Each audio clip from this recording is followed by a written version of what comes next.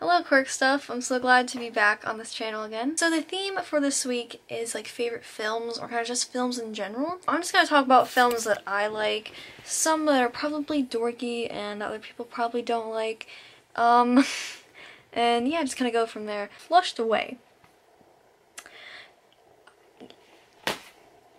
So I have mixed reviews about Flushed Away.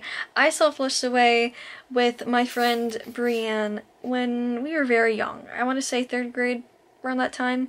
And we just went to the theater and saw that. And uh, at the time I thought it was the best movie ever, but now it's kind of turned turned into a meme on Tumblr at some point. I don't know. I have some friends online that make fun of it, and honestly I don't blame them because look at this. Just look at that guy. A mobster frog. And it's about this mouse that is very pampered. He's a pampered pet. His family goes off on a vacation and he's home alone, or so he thinks. Another mouse goes up the pipe of the toilet or something, ends up in his house, and then ends up flushing that character down the toilet and he meets all these little mice and weird slug characters down in the sewer and it's really weird.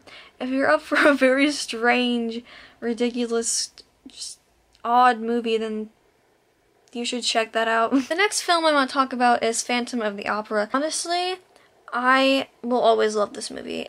Yes, there's certain points where I cringe at it because sometimes the acting isn't the best and the singing isn't the best, but I just love this movie.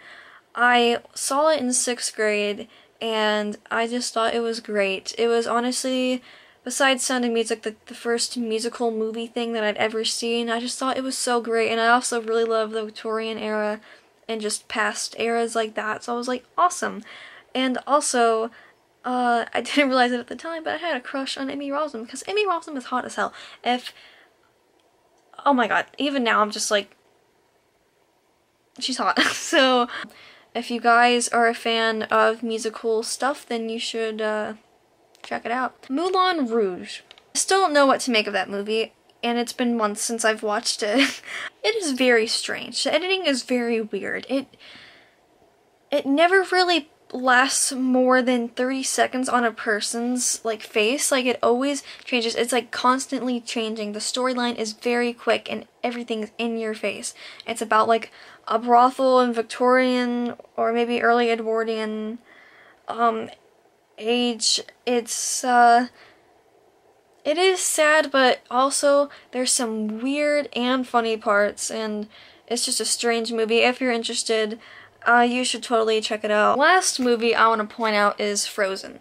I don't understand why we have it on DVD because no one in our family is particularly crazy about this movie, and I really am not. And I will give you just one reason why I'm not crazy about this movie.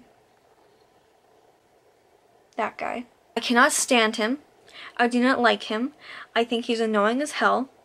I think they really could have done without him. I have major complaints for this movie. I think Anna really did not need a love interest. I think it should have been more about Anna and Elsa's relationship, like a sisterhood thing. I think it's great that Elsa didn't have a relationship, like she is independent and everything, and I like that.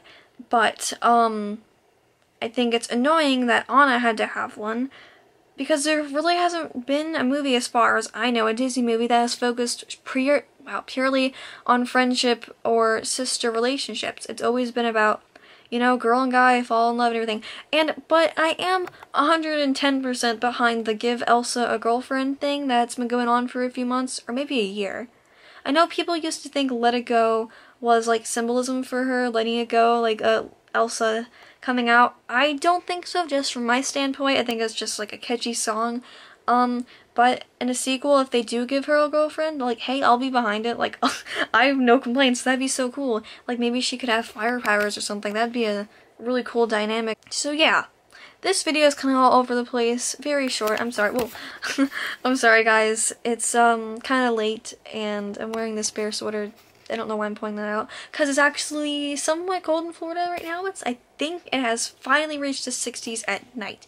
So that's just eh, okay with me. Anyways, Thank you, Quirk Stuff, so much for having me on this channel again. I really appreciate it. I really appreciate all your guys' videos. You guys are super cool. And I'll be back next week. Bye.